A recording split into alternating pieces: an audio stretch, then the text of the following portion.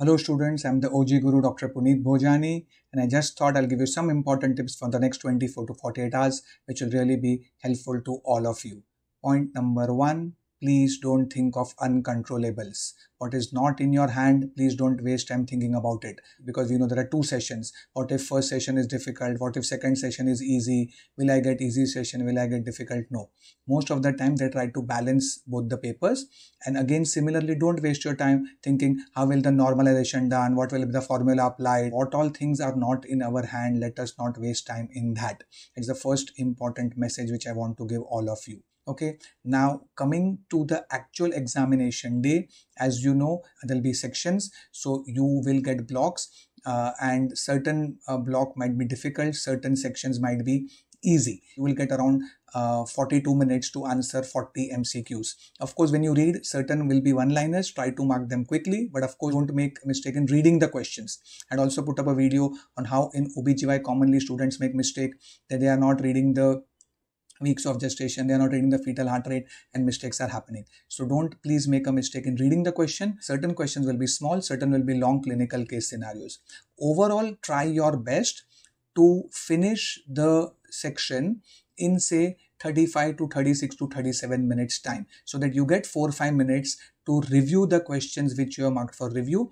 And because after 42 minutes your section will automatically stop and the new section questions or the new block will start okay coming to how many questions to mark there's of course no fixed rule. It all depends on how the paper is and how the risk taking appetite is.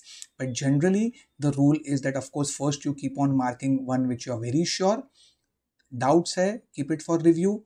When you have finished all and when you have time if you are able to eliminate two options if you are able to eliminate two options and it comes to 50 50 yes worth attempting the question okay and if you have never heard of the question or if you don't know any of the options then better to leave it alone जैसे cricket में होता है हर ball खेलना जरूरी नहीं होता है certain balls outside the off stump well left because your marks can go in negative okay so don't try to approach each and every ball and don't try to hit every ball out of the park okay now when if only one option you are uh, able to eliminate and three options you are still in your hand that is a risk which you want to take or not. Depends like if you're aiming for the toppers who take slightly take that risk and try to mark more answers uh, more questions. A student who wants a good decent rank which is majority between 5000 to say 20k then it is not worth probably taking that risk because of course the risk of negative marking is there. So try to finish the block in uh, 30 uh, 7 36 minutes and keep some time for review. And once the first section is over please don't carry the thoughts because certain section might be easy certain sections would be difficult. When you move on to the next section don't think of the previous. What is gone is gone.